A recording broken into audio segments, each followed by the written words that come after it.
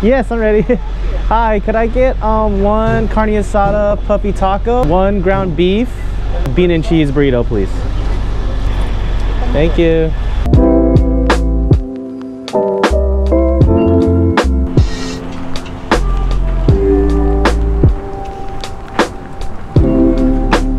Welcome, Vlogmas day 14. I just wanted to do a quick little update on how things have been going. Editing every day, shooting every day. I'd have to say creating is, is pretty hard. I wouldn't have to say that shooting for me is hard, filming and storyboarding everything is hard, because it's not. To me, it's just the, the structure of being able to edit and upload every single day is definitely the hard part having that dynamic having that set goal and structure to be able to execute. Because to me storytelling is easy as long as you have the concepts and I think the concepts have been really really hard to come by in the recent days because we're coming close to halfway through of Vlogmas. Not that I'm running out of things to do, but in a sense, yes. That's the one thing I am struggling with is trying to find concepts and stories, whether it's about my life or about the daily adventure that I'm gonna be going on. Daily adventures is definitely hard to do and hard to come by, especially in a COVID time. Hence why I'm out here by myself in the park.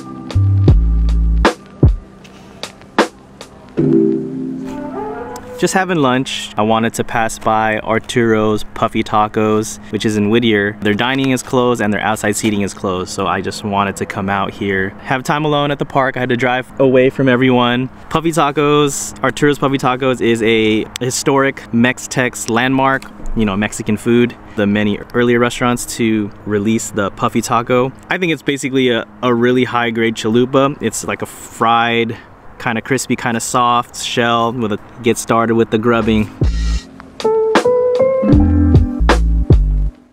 This marketing got me. It's basically called Liquid Death, Sparkling Water, Murder Your Thirst.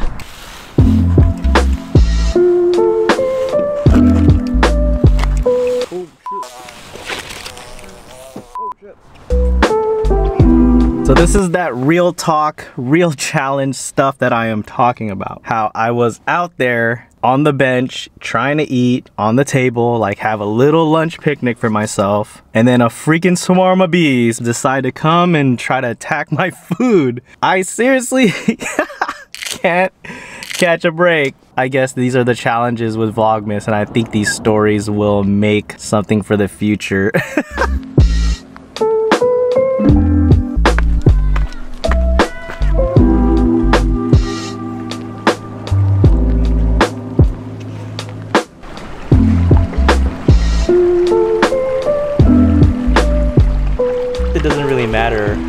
How good of a creator you are or how consistent you are, no matter what you do try to create, there will always be just those problems you run into. That's just the way it is when you're trying to create. Have trial and error every single time, even if it's just for fun. Take your, your fun practice work into the professional field or when you're gonna create something for somebody else.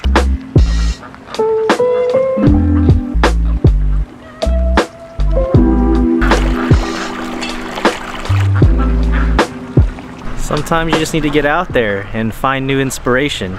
You know, whether it's going out to a lake, going out to where you hear the natural sounds of environment around you and you could shoot anything really. I'm always in that reinvention mode, always in that trying to be inspired by something instead of someone. I mean, yes, but I just always have to re-inspire myself. That's the key. That's how I'm gonna make it through Vlogmas.